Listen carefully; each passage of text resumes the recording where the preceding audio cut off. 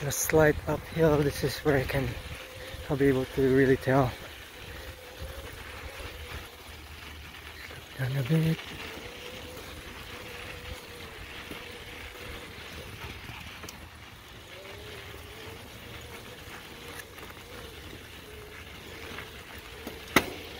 Yeah did you did you guys hear that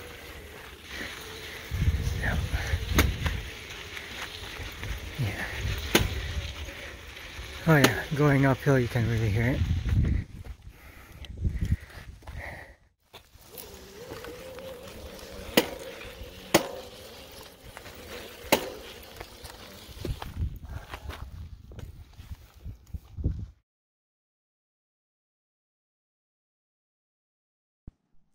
I pulled the main bearing out. Uh, the skipping may be due to this bearing right here. So I bought a replacement.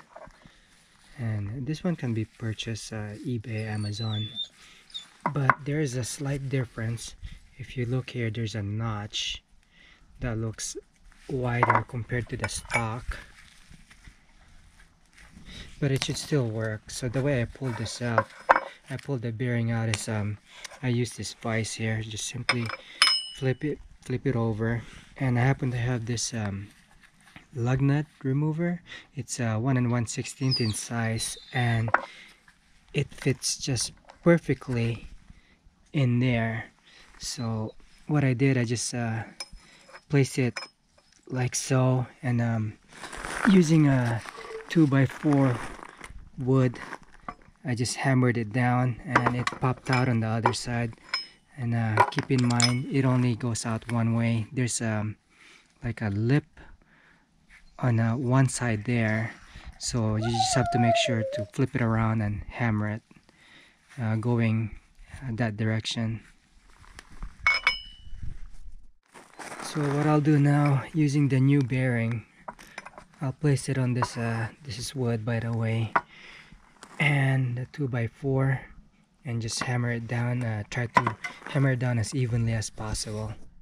So this is a new bearing hammered in and if you flip it over you can see it is flush all around the corner here. So it's ready to be installed uh, back on the bike. Here it is back on the bike. And it took myself and my wife to uh, put the lock ring back into place there.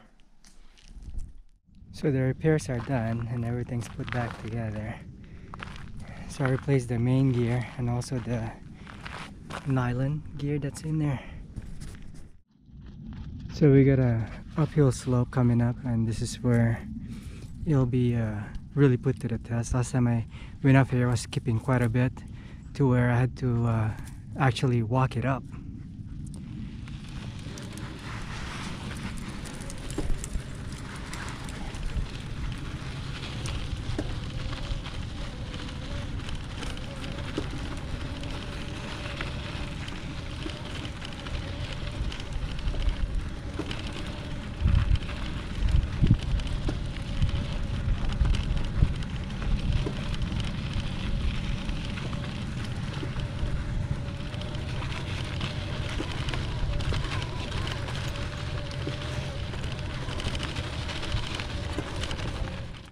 So I made it up this uh, slope uh, without the bike skipping. So that was a problem the main gear. So by replacing the Sprag clutch um, I was able to resolve the problem